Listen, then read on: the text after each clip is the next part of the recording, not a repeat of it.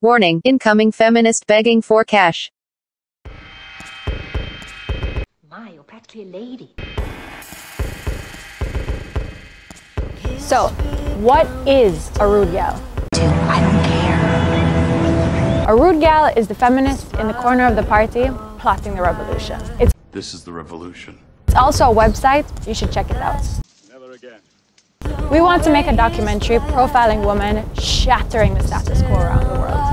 Social activism, political activism, we want the women that are making a difference.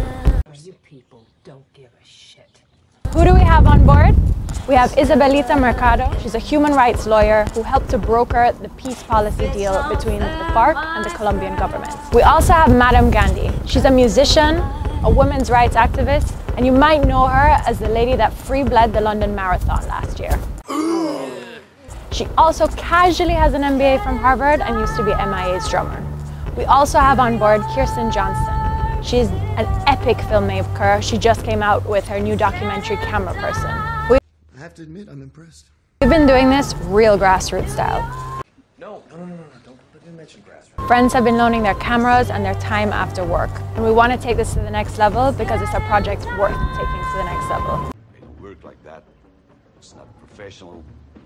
So what we need is your help for funding for operational costs, camera equipment, and traveling expenses.